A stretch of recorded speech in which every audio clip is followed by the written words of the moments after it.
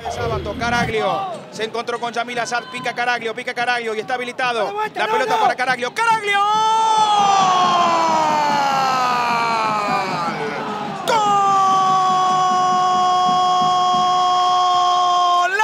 ¡Golazo de Vélez! ¡Qué golazo de Caraglio! A los 33 minutos del segundo tiempo. Impresionante definición del 9 de Vélez por Caraglio.